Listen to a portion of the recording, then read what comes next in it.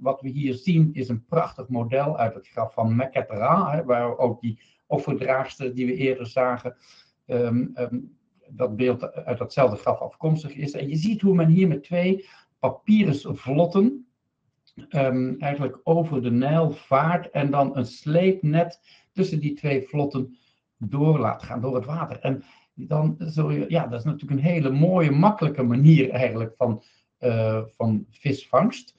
Uh, weliswaar de vissen die vrij hoog uh, in, in het water zitten. Blijven we in het Middenrijk en wil ik jullie nu meenemen in Midden-Egypte naar de plaats Beni Hassan.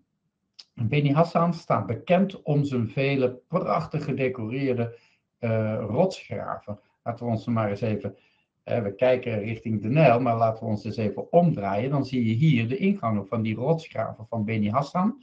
En als wij naar binnen gaan in het graf van Gnum Hotep, ik noemde hem al eerder vanwege die facsimile tekening van die sycomoor, dan zijn wij in de ruimte aangekomen waar de nabestaanden offers kwamen brengen in de uh, achterste ruimte uh, zal ooit een cultusbeeld hebben gestaan of uitgehakt zijn geweest